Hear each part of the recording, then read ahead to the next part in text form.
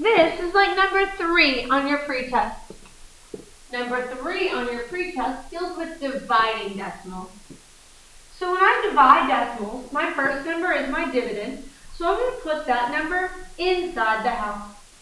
The second number we call the divisor. It goes outside the house. So now I have it set up like a division problem. But there's something different. You can't have a decimal in the divisor. You can't do division with a decimal in the divisor. But don't worry, it's really easy to fix.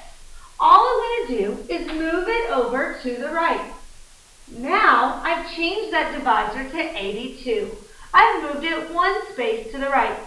Whatever I do outside the house, I have to do inside the house. So I'm moving that decimal over one space to the right. So the rule is that if there's a decimal outside the house, you have to move it over. Sometimes you might have to move it over two spaces.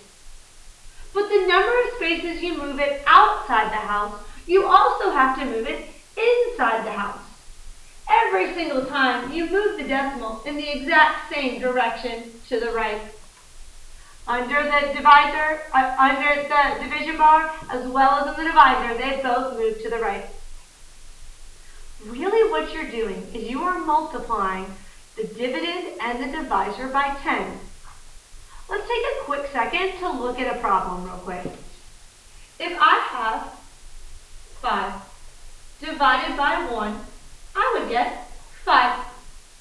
What would happen if I multiplied the dividend and the divisor by 10? My answer would stay the same.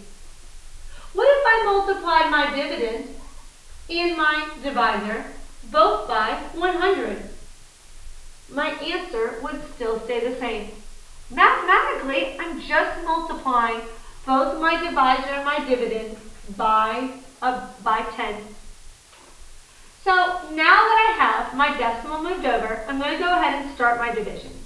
82 goes into 101 one time. I do my multiplication, I do my subtraction, and I bring down the 6. 82 goes into 196 two times. I do my multiplication, I bring down, and 82 goes into 328 four times. Oh, look at that, and I have zero. So that means I'm done when I get to zero and I have no more numbers in my dividend to bring down. Notice, it was really important that I lined up my numbers when I wrote down my answer. That's how you know your decimal is going to be in the right spot.